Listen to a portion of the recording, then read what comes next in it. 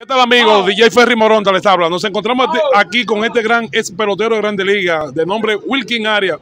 Wilkin, háblanos de tu experiencia, tu paso en Grande Liga, ahí en la menor, en AAA y en la pelota invernal. Pero primero háblame de los pasos tuyos ya en la pelota en los, en los Estados Unidos con los Yankees. Me dijeron que firmaste y después luego con los Mets. Háblame. No, fue una expectativa eh, muy buena, muy importante.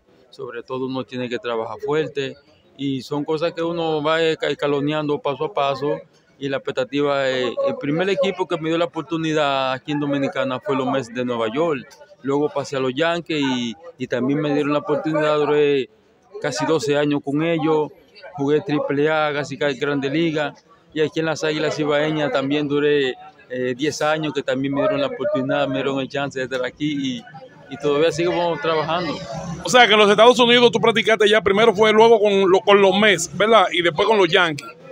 ¿Cuáles de esos peloteros activos que están en Grande Liga ahora, tú jugaste con ellos, que se encuentran activos y los que no están? No. De, de, renombre, ¿de cuáles de ellos? No, no, pero son muchos, son muchos. Entre ellos, ¿cuáles? Ahí está Robinson Cano, está Mariano Rivera, eh, un amigo muy importante que, y que está ahora mismo, está fuera de pelota, pero fue, gracias a Dios que lo tenga en gloria, que fue Mario Lima. Que es un, ese es mío, el Mambo Lima, ese es mío. Un pelotero, un pelotero muy exitoso aquí en las Águilas Ibaeñas, me dio mucho apoyo, me ayudó mucho y...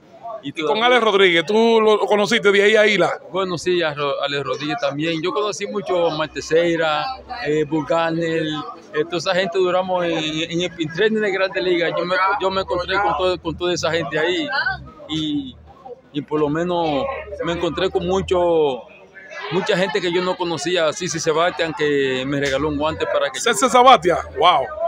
Tú jugaste con mucha estrella en Grande Liga ahí, que están activos y muchos se han retirado, pero terminan por el camino derecho, correcto, con su numerito ahí.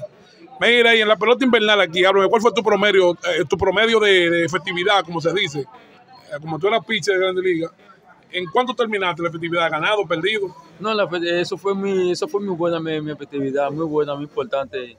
Eh, gracias a Dios, cada vez que ellos me daban el chance, la oportunidad, yo estuve ahí.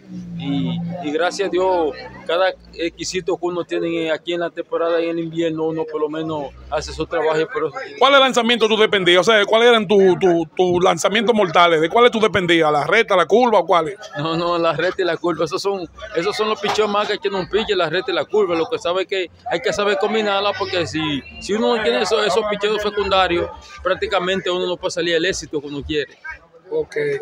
¿Y en la pelota de aquí, con cuál equipo tú jugaste aquí, local? Bueno, yo jugué aquí, el primer equipo fue las Águilas Cibaeñas, después jugué con las Estrellas y jugué con los Toros.